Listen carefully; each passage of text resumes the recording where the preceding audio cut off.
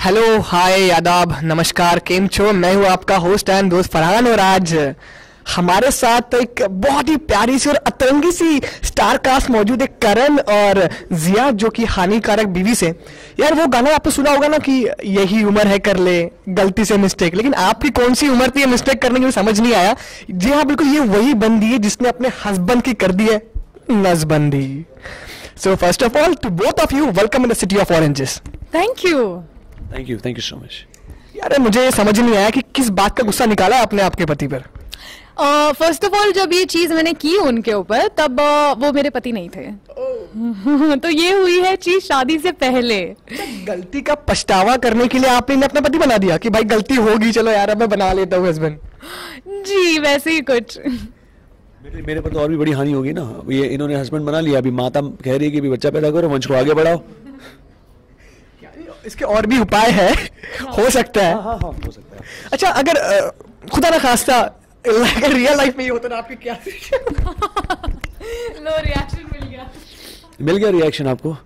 नहीं मेरे ख्याल से अगर रियल लाइफ में अगर ऐसा होता तो मैं ये कहना चाहूँगा कि अ, मेरे ख्याल से अ, ये देखा जाएगा कि मैं इंसान कैसा हूँ। मैं मैं मैं पति कैसा हूँ मैं बेटा कैसा हूँ ये सारी चीज़ें ज़्यादा महत्वपूर्ण की होती है मंच को आगे बढ़ाने से। बिल्कुल बिल्कुल। यार सबसे पहले ना ये दुनिया में बहुत कम ऐसे क्यूट सी लड़कियाँ होती हैं जिन्हें डिंपल होते हैं। और एक तो मुझे यहाँ दिख रही थोड़ी डिंपल दिखा दो अपना उधर।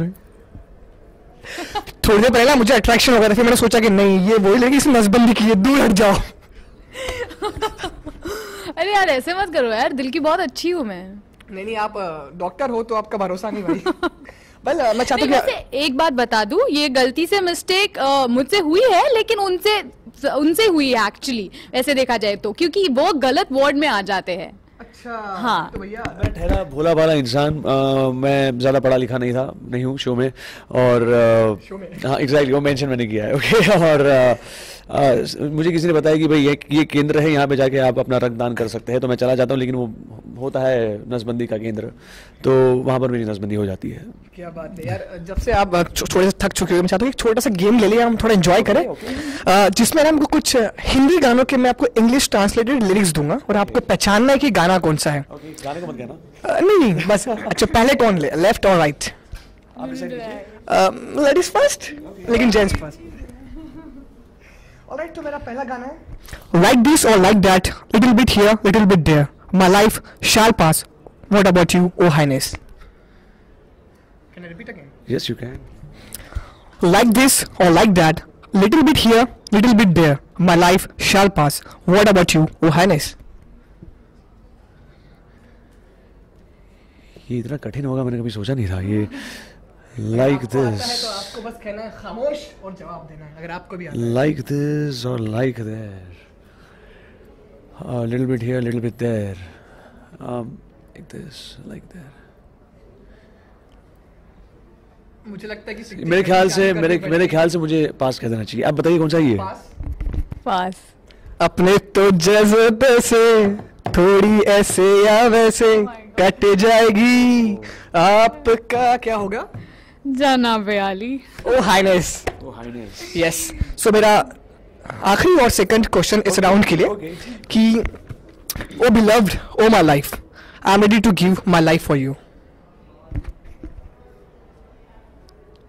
हाँ क्या? ओ beloved oh my life I am ready to give my life for you अरे बहुत ही रोमांटिक सा गाना है। फाइव फोर थ्री टू और खामोश। आ, ये ये ये गाने की ट्यून याद नहीं आ रही लेकिन इसके बोल मुझे याद आ गए हैं।